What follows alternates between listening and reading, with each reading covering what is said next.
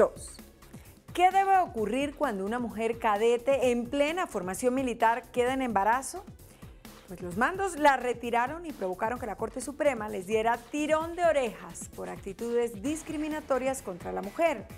La Corte llama la atención de los mandos de la Armada por incurrir en un acto discriminatorio y arbitrario al retirar de la escuela naval Almirante Padilla a una cadete que quedó en embarazo.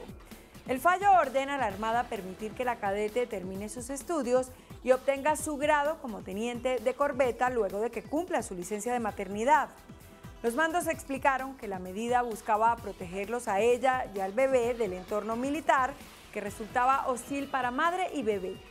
Ella apeló la decisión y en un derecho de petición pidió reversar su salida debido a que su retiro implicaba quedar sin los servicios de salud. La Corte concluyó que se pusieron en riesgo la integridad de la mujer y la de su bebé y ordenó su inmediato reintegro.